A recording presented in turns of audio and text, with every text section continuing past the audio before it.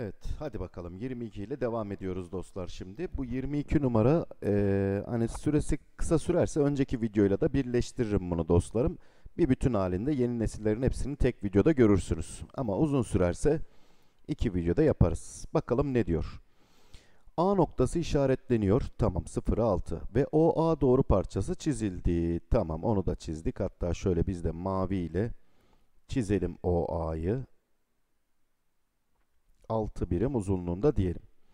Ömer ve Ertuğrul aynı anda ve aynı hızla bu doğru parçasını O noktası etrafında döndürmüş ve döndürülmüş hallerini çizmeye başlıyorlar. Ömer saatin tersi yönünde 60 derece, Ertuğrul ise saatte 30 derece bir A noktasına gelecek olduğu yere işaret bırakıyorlar. 30 derecede bir A noktasının gelecek olduğu yere işaret bırakıyorlar. He, saatin tersi yönde 60 derecede bir, Ertuğrul ise 30 derecede bir. Tamam.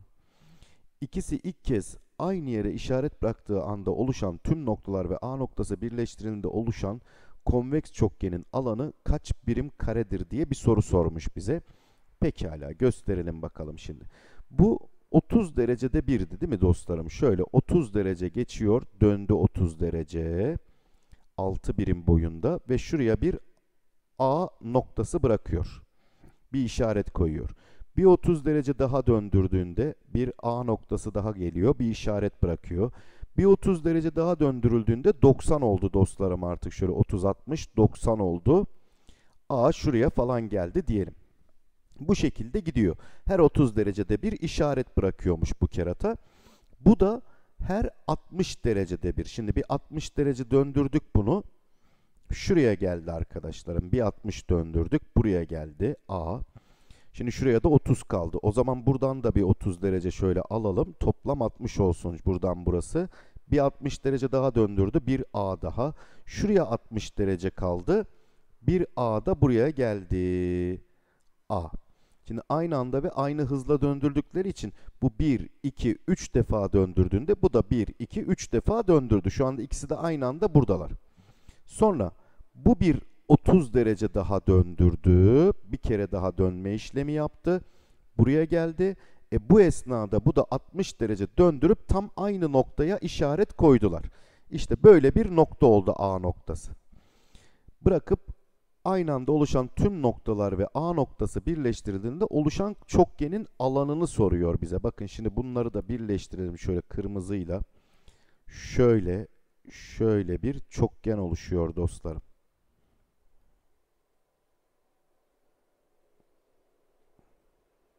Şöyle bir şekil oluştu. Bize de bu çokgenin alanı nedir diye soruluyor. Bakın bu çokgenin içinde şöyle bir tepe açısı 30 derece olan bir ikizkenar üçgen var. Şimdi bu ikizkenar üçgenin alanı sinüs alandan bulacağım dostlarım. 1 bölü 2 çarpı iki kenarın çarpımı bir de aradaki açının sinüsü yani sinüs 30 1 bölü 2 gitti gitti 3 gitti gitti 3 9 çıktı buranın alanı. Peki bu 9'dan bak 1, 2, 3, 4 tane 9 var. Yani 36 var. 6. Şuraya artı diyelim. Artı. Şuraya bakalım. 1, 2, 3, 4 tane de eşkenar üçgen çıkıyor değil mi dostlarım? Bak bunlar 6 6 oldu ve tepesi de 60 olduğu için eşkenara döndü. Hadi bir tanesinin alanını bulup 4 ile çarpalım. Eşkenar üçgenin alanı bir kenarının karesi çarpı kök 3 bölü 4. 36 4'e böldüm 9 kök 3'tür bu. 4 tane olduğu için de 36 kök 3 de buradan gelir. 36 artı 36 kök 3'tür sorumuzun cevabı. 23.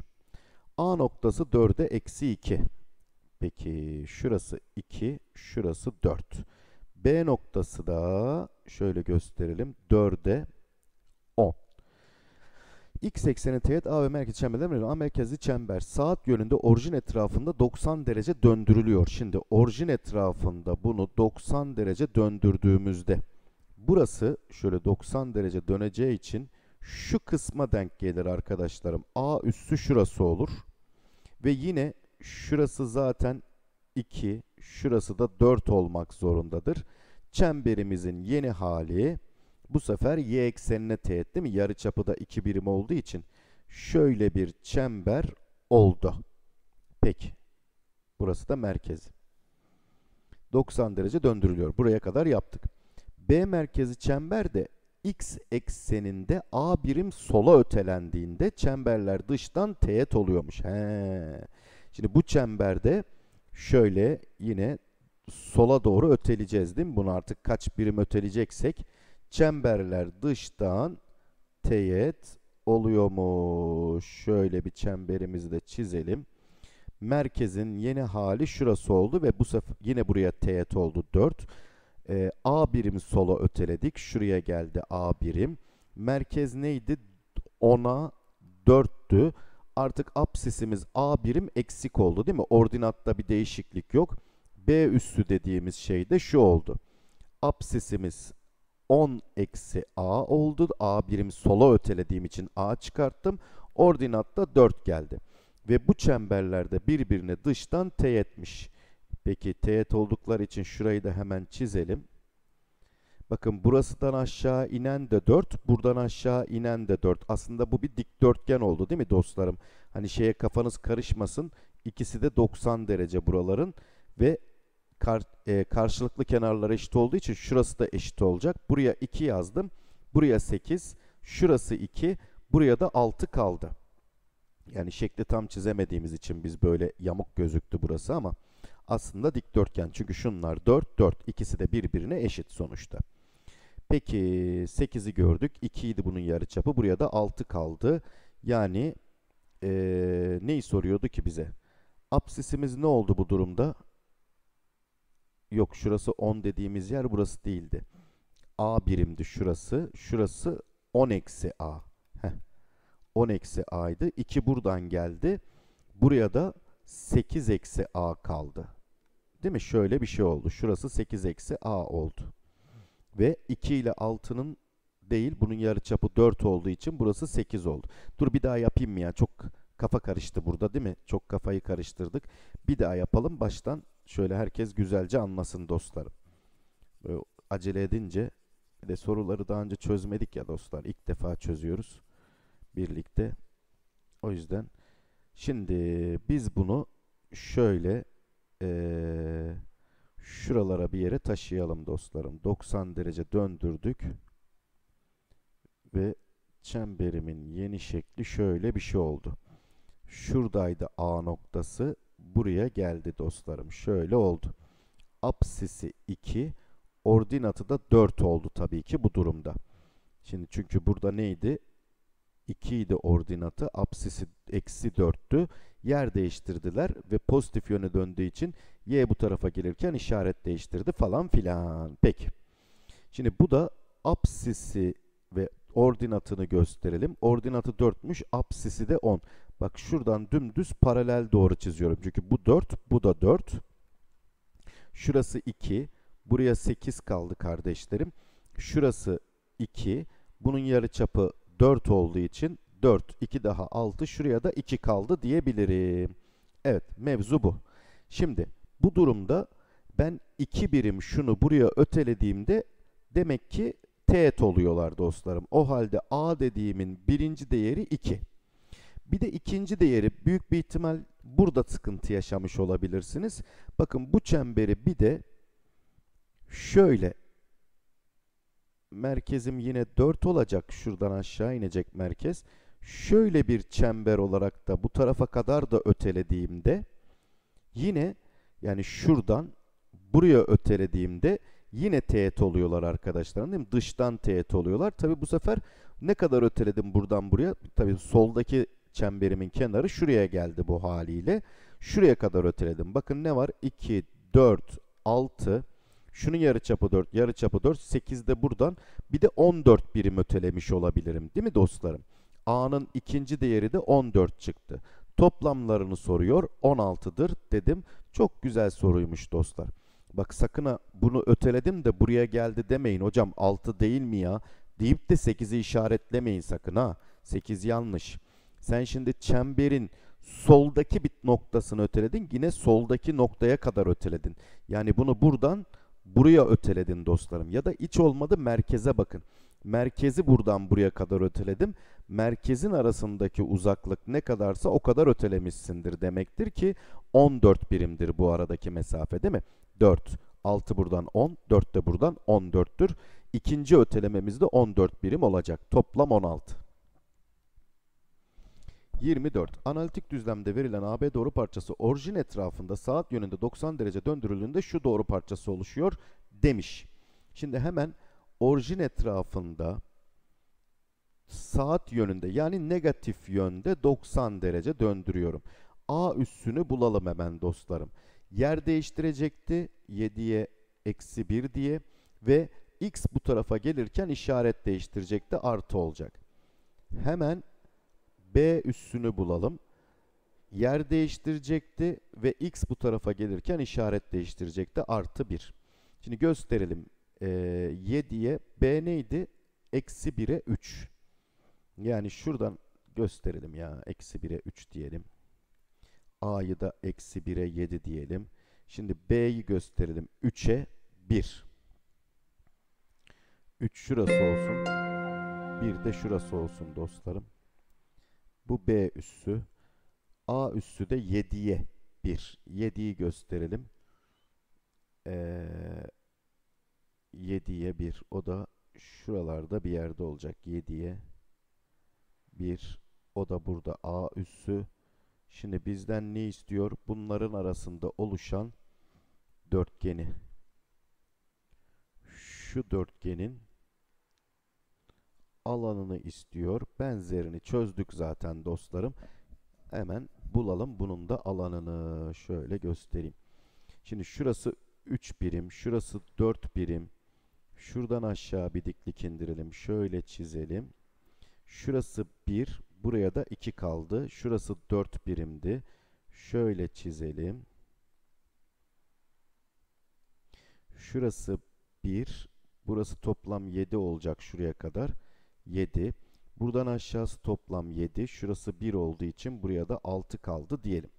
Şimdi seçenek bol. Biz önceki sorumuzda buna benzerini çözdüğümüzde köşegeni çizip de çözmüştük soruyu. İki tane üçgenin alanı diye toplamıştık. Burada da şunu yapabiliriz. Büyük dörtgenin alanını buluruz. Bak kısa kenarı 6, uzun kenarı 8 olan 6 kere 8'den 48 diye büyük dörtgenin alanını bulup bir şu üçgeni çıkartırım dostlarım ki bunun alanı da şurası 1, burası 3 olduğu için e, 2 çarpı 4 bölü 2'den 4'tür. Bir de şuranın alanını buluruz dostlarım. Bu da 6 çarpı 8, 48 bölü 2'den 24'tür. Yani 28'i çıkartacağız, 20 gelecek diyebiliriz dostlar alana. 25. Bakalım bu ne diyor. Koordinat düzleminde verilen OA'nın önce orijine göre simetri alınıyor. Şimdi orijine göre simetride neydi dostlarım olay? Ee, şunlar OA diyelim. Bir bu kadar da orijine göre gidiyorsun. A üssü oluşuyor tabii ki. Ama biz biliyoruz ki orijine göre simetri demek ikisinin de işareti değişecek. Yani eksi m'e eksi 4 oluyordu. Şurada gösterelim. Eksi m eksi 4 daha sonra pozitif yönde orijin etrafında 90 derece döndürülüyor. Şimdi buna da pozitif yönde 90 derece döndürürsek yer değiştiriyor. Y buraya gelirken işaret değiştiriyordu. Şöyle oldu. 4'e eksi m oldu. Ve A noktasının yeni yeri bu oldu. A üssü buymuş dostlar. Buna göre A üssü ile B arasındaki uzaklık. Şimdi iki nokta arası uzaklığı yapalım. A üssü ile B. Kök içinde x'leri çıkartacağız. Yani 4'ten 4'ü çıkartacağız ve karesini alacağız 0. Değil mi? 4'ten 4 çıkınca karesini aldım 0. Artı eksi m artı 5'ten eksi m'i çıkartacağız. Eksi eksi m çıkacak. Burası artıya döndü. m'ler gitti 5. Karesi 25. Topladım 25. Dışarıya çıktı 5. Denizli şıkkı doğru cevapmış. 26. Uzunluğu 7 birim olan AB doğru parçasının y eksenine paraleldir. A noktasının x eşittir 4 doğrusuna göre simetriyi A üssü A üssü noktasının x eşittir 6 doğrusuna göre simetriyi de A2 üssü noktasıdır. Buna göre şimdi bu şunu bir yapalım. A'nın x eşittir 4'e göre simetriği bu uzaklık kadar bir uzaklıkta sen gidiyorsun. Bu A üssü. Sonra A üssünün x eşittir 16'ya göre simetri. Yani şu uzaklık kadar bir uzaklıkta sen gidiyorsun. Bu da A2 üssü noktasıdır diyor. Buna göre de şu aradaki mesafeyi bulun diyor bize dostlarım. Şu kısmı şu A2 üssüyle B arasındaki uzaklık nedir diye bir soru sormuş. Şimdi şuna A diyelim, bu da A. Buna B diyelim, bu da B. Bak şurası 4 ile 16'nın arası 12. Yani şurası 12 birim. A ile B'nin toplamı 12 ise 2A ile 2B'nin toplamı 24'tür. Bak dik üçgenime 7, 24, 25 üçgeni çıktı. Cevap Denizli'den geldi. 27. Eksen döndürme sorusu arkadaşlarım. Benim tahmin sorularımdan bir tanesidir. İlla ki bir sene soracaklar diye düşünüyorum. Eksen döndürmeyi. Şimdi dik koordinat düzleminde orijin etrafında pozitif yönde 60 derece döndürülüyormuş. Bak x koordinatı, x ve y koordinatları buradan buraya 60 derece döndürülmüş. Şöyle gösterelim. Şuraya da 30 kaldı o zaman diyelim. Buna göre normalde 2'ye 6 kök olan nokta bak siyah eksende apsisi 2 ordinatı 6 kök olan bir nokta var.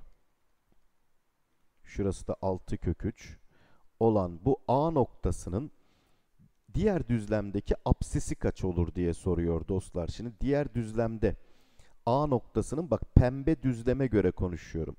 X üssüne olan uzaklığı bu noktanın ordinatı y üssüne olan uzaklıkta bu noktanın apsisiydi. Yani bana bu kırıp şu son çizdiğim çizgiyi soruyormuş. Peki bizim bildiğimiz şeyler. Şurası 2. Bakın burada bir 30, 60, 90 var. 30'un karşısı 2 ise 60'ın karşısı 2 kök 3. 90'ın karşısı yani şurası 4. Devam. Şuraya 30 diyelim. Şimdi buranın toplamı 6 kök 3'tü. Şuraya 4 kök 3 kaldı. Burası 60. 90'ın karşısı 4 kök 3 ise 30'un karşısı yarısı 2 kök 3. 60'ın karşısı kök 3 katı 6. Bak burası toplam ne oldu? 10. Yani şurası 10 çıktı dostlarım. A'nın y üssü eksenine uzaklığı 10. Bu ne demek? Apsisi 10 demektir. Cevap Bursa. Mesela ordinatını sorsaydı o da burası değil mi? 2 kök 3. Bakın bir tane daha.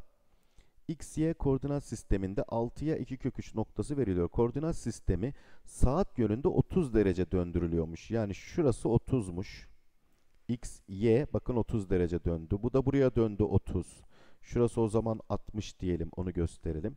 Bir de 6'ya 2 kök 3 noktası varmış dostlarım. Normal sistemde. Şurası 6. 2 kök 3'ü de gösterelim şöyle. Şurada bir yerde de 2 kök 3 olsun. A noktası burası. Burası da 2 kök 3'e. Buna göre A noktasının evet yeni koordinat sistemdeki koordinatları da bunlardır diyor. Olduğuna göre sisteminde A, B noktalarından geçen doğru X, Y koordinat sisteminde hangi doğrudur diye bir soru sormuş bize. Peki bulalım şimdi yavaş yavaş acele etmeden. Şimdi bu A'nın yeni koordinatlardaki karşılığını bulalım dostlarım. Onları da şöyle yeşille yapalım. Şimdi y üstüne olan uzaklığını buluyorum şurayı. Peki bulmayı deneyelim. Şurası 2 kök 3. Şurası 60. Burası 60. 60'ın karşısı 2 kök 3. 30'un karşısı 2. Şurası 6 olduğu için 4. 90'ın karşısı 4. 30'un karşısı 2. 60'ın karşısı 2 kök 3. Bak A'nın y üstüne uzaklığını görüyorsunuz 2 kök 3. Yani apsisi 2 kök 3. Şimdi şu ordinatını bulalım. Yani x üssüne uzaklığını bulalım. Şurada da 90'ın karşısı 30'un karşısı 2 ya 90'ın karşısı yani şurası 4 oldu dostlarım. O halde şu uzaklık 6 geldi. Yani şurası 6. X üssüne uzaklığı 6. O da ordinatı demektir. Demek ki A 6 B şey A 2 kök 3 B de 6'ymış. Tamam. Buna göre diyor bu koordinat sisteminde şuradan geçen doğru aslında şunu söylüyor. Şuradan ve buradan geçen doğruların x, y koordinat sisteminde hangi doğrudur diye bir soru sormuş bize dostlarım. Pekala. Şimdi buradan geçen bu noktanın koordinatları ne oldu? Şu y üssüne göre şurayı bulalım biz bir dostlarım. Şu noktanın koordinatlarını. Çünkü burası y üssüne göre bizim b dediğimiz nokta. Bakalım şeyde neymiş? Döndürülmeden önce 30 derece dönmeden önce nereye denk düşüyormuş burası? Bakın y üstündeki uzaklığı 6 birim. Buradan da 6 birim aldığımda şurası olacak değil mi? 6. 0'a 6. He, ama bize buradaki karşılığını soruyor. Tamam bu dönmeden önceki şuradaki karşılığı nedir diye soruyor şöyle. Hmm. Tamam. XY sisteminde A ve B noktalarından geçen doğru 30 derece döndürülmeden önce ne olur diye soruyor. Şimdi A, B burası, A da burası. Buradan geçen şöyle bir doğrumuz var. Bu doğrunun diyor böyle bir doğrumuz var. He, şeydeki karşılığını soruyor. Şurası 90'ın karşısı şurası ne yaptı lan? 6. 30'un karşısı ne olacak? Yarısı 3. Bakın B'nin apsisini 3 bulduk. Ordinatı da şuradan aşağı inen dikliktir diyelim şimdilik. Ama apsisi 3. Şurası 3. Peki şu A dediğimiz şey neydi? A 2 kök 3'tü. Yani şurası da 2 kök 3. Hemen şuradan bir diklik çizdik. 90'ın karşısı 2 kök 3, 30'un karşısı yarısı kök 3, 60'ın karşısı da 3. Bak bu da buraya denk geldi. Demek ki bunlar aslında şöyle aynı doğru üstündeler arkadaşlarım. Şöyle. Şöyle çizelim ve x eşittir 3 doğrusu bu. Mavi eksene göre konuştuğumuzda da x'in 3'ten geçtiği doğrudur diyebiliriz. Evet bu da güzel soruymuş. Şeki biraz karıştı ama. 29. Merkez etrafında döndüren 12 parça düzgün 12 biçimde disk birinci konumdayken döndürülerek ikinci konuma getirilmiştir. Buna göre bu düzgün dönme işlemi aşağıdakilerden hangisi olamaz diye bir sormuş. 12 eş parçadan oluşuyorsa her biri 30 derecedir şunların dostlarım. 30. Şöyle bir şey. Şimdi ne olmuş bakın hepsi bir üste çıkmış. Şöyle bir üstüne çıkmış. Yani 30 derece şöyle sola döndürdüğümde bak bu adam 30 derece dönerse bunun olduğu yere gelir. O halde saatin tersi yönde 30 derece döndürdüysem olur. Bu oldu. Şimdi diğerlerini de birlikte yapalım o halde arkadaşlarım. Ne diyor mesela? Saat yönünün tersini 120 derece döndür diyor. Şimdi 30 derece dönünce buraya geliyorsa bak bu adam şimdi 30 döndü. Buraya geldi. 1.30. 4 tane 30 dönecek. 2, 3, 4. Tam şuraya geliyormuş. Birin, bu adam buraya geldi. Yani aralarında 3 üçgen bırakıyor. Dördüncü üçgene yerleşiyor. Mesela bu ne olacak o zaman şu? 1, 2, 3, 4 üçgen. Dördüncü üçgene yerleştim. Buraya geliyor. Bu ne olacak? 1, 2, 3, dördüncü üçgene yerleşiyor. Bu ne olacak? 1, 2, 3, dördüncü üçgene yerleşiyor. Bak yeşillere bakın. Bunun aynısı. O zaman 120 derece döndürdüğümde de bu istediğim konuma geliyormuşum. Sildim.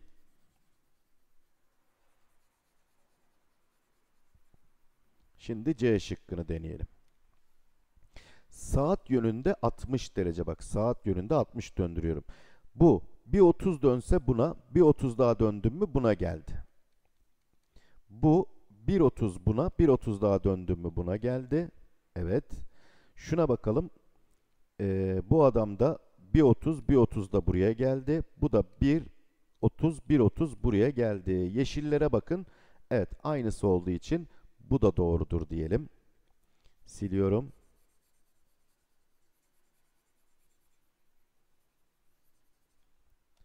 Şimdi ne diyor? Saat yönünde 90 derece döndürün diyor. Saat yönünde yine şu yönde 90 derece. Yani 3 tane 30. Yani bu adam 1, 2, 3, 30 dönünce buraya gelecek. Bu adam 1, 2, 3, 30 dönünce buraya gelecek. Bunun tıpatıp aynısı olacak arkadaşlarım. O halde cevap Denizli. Şu olmuyor çünkü. Kendisinin aynısı oluyor 90 derece döndürdüğümde. Cevap Denizli'ymiş. Hiç uzatmadım. Evet. 29. 30. sorumuz. A noktası etrafında saat yönünde yani şu yönde döndürüyoruz işte arkadaşlarım. Şöyle döndüreceğiz. 90 derece döndürülmesiyle elde edilen şeklin görüntüsü aşağıdakilerden hangisidir diye soruyor. Şimdi ben bunu 90 derece döndürürsem şöyle bir çizgi çizeyim. Bir de buna dik olan çizeyim. Dostlar şuradaki köşe 90 derece dönünce tam bunun üstüne gelir. Kaç birim? 1, 2, 3, 4 birim yukarısında. 1, 2, 3, 4 birim yukarısında buraya geldi. Yani dikdörtgenim şöyle bir şekil aldı arkadaşlarım. Şöyle bir şekil. Buradan da şöyle bir kuyruğum var. Böyle bir pozisyon aldı dostlar. Kuyruk yukarıda olacak yani. Bu değil. Bu değil. Bu değil. Peki bu adam şu üstteydi ya döndü 90 derece şuraya bir yere denk geldi değil mi? Şöyle bir üçgen oluştu yani burada. O halde sağ tarafta kalacak dedim. Denizli doğru cevaptır dedik. Düzgün sekizgen. Düzgün sekizgen demek hemen 360'ı 8'e böldük. 45 çıktı dış açısı. İç açıda 135. Saat yönünde merkezi etrafında tam şu merkezinin etrafında Şimdi şunların her biri o halde arkadaşlarım 45 derece. Bunları da bilelim. Her biri şunların 45 45 derecedir diyelim. Neydi? Saat yönünde bu tarafa doğru döndürüyoruz. Oluşan görüntü aşağıdakilerden hangisidir? 135 derece döndürüyormuşuz dostlar. Bakın şimdi şu kenarı bulalım nereye geliyormuş. 135 demek önce şunu söyleyelim ya da ya şu ikisini bulalım şunu. Nereye gelecek onu bulalım dostlarım. Burası 135 dönecekse bu kenar buraya gelince 45. Bir 45, bir 45 daha tam şuraya gelecek. Bu da buraya gelecek dostlarım. Yani yeni şekil şurada olacak şu üçgen. Bu şekil buraya gelecekmiş. Şimdi bunun da şu kenarı buraya geldi ya dostum. Bunu devam ettirip köşegeni çizdiğimde işte bir de şurayı birleştirdiğimizde aha şekil böyle olacakmış. Bu. Hangi şıkkımızda var? Aha Bursa'da var arkadaşlar. Böyle bir şekil. Vallahi güzel oldu ya. Bence de. Tamam. Devam edelim. Daire içerisinde çokgenler görülmektedir. Saat yönünde 270 derece döndürülecek dostlarım. Şöyle bir dörde bölelim mi bunu dostlar? Dörde böldük. Şu tarafa doğru 270. Yani 3 tane 90 döndüreceğiz. Bak şimdi. Kare nereye geliyor diye bakalım. Bir 90 da buraya. ikinci 90, üçüncü 90 da buraya gelecek. Sol alt köşede olacak kare. Burada öyle, burada öyle değil, burada öyle değil, burada öyle, burada öyle değil. Geçtim. Üçgene bakalım. 3 tane 90 dönecekti. 1, 2, 3. Tam şu karenin olduğu yere sol üst köşede olacak üçgen. Bu öyle, bu da öyle. Tamam. Heh, kare zaten ikisinde de aynı. Beşgen ikisinde aynı. Şimdi dörtgene bakalım. 90, 3 tane 90 dönecek. Bir 90 dönünce şuraya gelir. Bir 90 dönünce buraya gelir. Bir 90 daha dönünce şöyle olur arkadaşlarım. Bakın uzunlaması yukarı doğru olacak. Bursa şıkkı doğru cevaptır diyebiliriz. Son soru mu? Yok bir de 34 var. Düzgün 6 dik koordinat düzleminde merkezi O noktasına aşağıdaki düzgün altıgeni verilmiştir. Tamam. Bu altıgen merkez etrafında ok yönünde 240 derece döndürülüyor. Döndürme sonrasında elde edilen altıgeninde y eksenine göre yansıman zaman aktarımında D noktasının bulunduğu köşeye son durumda hangi nokta gelir diye bir soru sormuş. Şimdi 240 derece. Dostlar düzgün altıgenin bir dış açısı 60'tı. Şunların her biri 60. Şöyle çizdiğimde. Her biri 60. Şimdi bir 240 döndürelim. 240 demek 4 tane 60 derece döndüreceksin. Ok yönünde. Ok ne tarafa doğru? Saatle aynı yönde. 4 tane 60 derece döndüreceğiz. Şimdi D noktası bir 60 dönse C'ye, bir 60 daha ikinci 60 B, üçüncü 60, dördüncü 60. D noktası buraya gelir. Bu 1.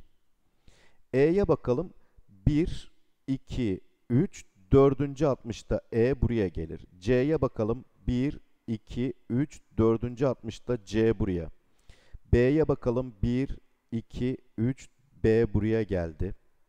Zaten E, D, C, B A'nın da nereye geleceği belli ya. Neyse sayalım. A 1, 2, 3, 4. A da buraya geldi. E, F de bir tek buraya kaldı zaten. Şimdi 240 derece döndürdük. Sonra da diyor ki y eksenine göre yansıması al. Şimdi şu ortadaki çizgiye göre y'ye göre yansımasını alacağım. O halde F kesin buraya gelir. F üssü. E de buraya gelir. E üssü. A kesin buraya gelir. A üssü. D de buraya gelir. D üssü. B buraya gelir. B üssü. C buraya gelir. C üssü. Demek ki C noktası tam da D'nin olduğu yere geliyormuş bu işlemler sonunda. Evet 34. Saat yönünde 270 derece döndürüyor. 3 tane 90 döndüreceğiz dostlarım. Bakalım neler olacak yeni elde edilen görünüm. Şimdi üçgene bakalım. 1, 2, 3. 90 da buraya geliyor. Yani sol üst köşede olacak. Hepsinde öyle. Ha, hepsinde zaten oradan bir ayrım yapamayacağız. Anlaşıldı. E'yi kontrol edelim o zaman şimdi. E. Bir tane 90 döndürürsek şöyle olur arkadaşlarım. E aşağıya doğru olur. Bir 90 daha döndürürsek şöyle olacak. Bir 90 daha döndürdüğümüzde şöyle bir pozisyon olacak. E bu. Şimdi şu değil. Şu değil o halde. Peki zaten şu turuncu olan dörtgenden bir şey çıkmayacak arkadaşlarım. Üçgene bakalım biz. Şimdi üçgeni konuşalım. Üçgeni bir 90 derece döndürdük. Şu tarafa geldi. Şöyle oldu. Bir 90 daha döndürdük. Böyle oldu. Bir 90 daha döndürdük. Şöyle oldu arkadaşlarım. Sola doğru sivri ucu olacak. Bu da değil. Hangisi kaldı? Şu ikisi kaldı. Onu da pembesi belli edecek. Hadi pembe şu mor mu? Mora bakalım şimdi. Şimdi bunu bir 90 döndürdüğümüzde şu kenar buraya geldi dostum. Şöyle bir şekil oldu. Bir 90 daha döndürdüğümüzde bu kenar buraya üstüne denk geliyor. Şöyle bir şekil oldu. Bir 90 daha döndürdüğümüzde buraya gelecek. Şöyle bir şekil olacak. Evet hangisinde bu? 270 döndürmedik? Doğru. Şimdi bir 90 döndürdük bunu. Bunu bir 90 döndürürsem doğru bu olur. Değil mi? Böyle olur. Doğru söyledim. Bu kenar buraya, bu kenar da buraya gelir. Böyle olur. Doğru. Bir 90 daha buraya. Ha bir 90 daha döndüreceğiz bunu. Tamam şöyle olacak ya. Of. Şuraya bak ya döndürmeyi bile yapamadık. Şöyle olacak arkadaşlar. Tamam Bursa şıkkı doğru cevapmış. Evet başka var mı ya? Yorulduk artık. Yok bitti çok şükür. Hadi öpüyorum hepinizi. Görüşmek üzere dostlar.